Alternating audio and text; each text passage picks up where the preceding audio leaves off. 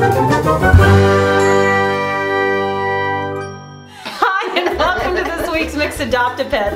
With us, we've got Patty with the Amarillo SPCA, and she brought us Alexi, who, as you can see, is just the super cutest thing you've ever seen and so full of energy. Tell us a little bit about her.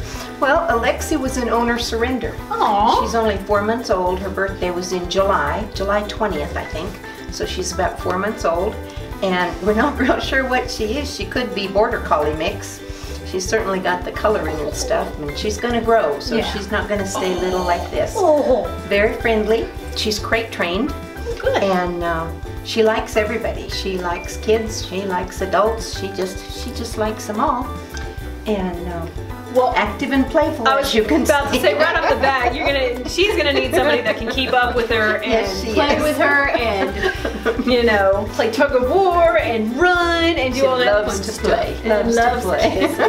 well, if somebody is interested in taking this beautiful girl home, how do they go about doing that? Well, come on out to the shelter. She's not, of course she can be adopted, but she's not ready to go yet because she hasn't had all of her shots or yeah. been to the vet.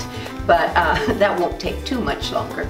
Anyway, come on out to the shelter. We're at 11901 South Coulter, and adoption fee is $100. You start out with a pre-screen.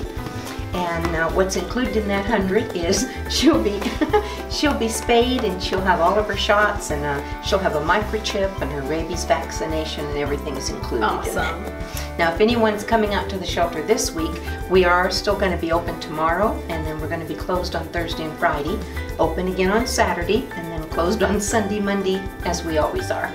But we are going to be closed the two days for Thanksgiving. All right. well, what do you say we find you a home? Yeah. Oh, it's gonna take a live one to keep up with this live one. Yeah. If you need more information, all of it's coming up.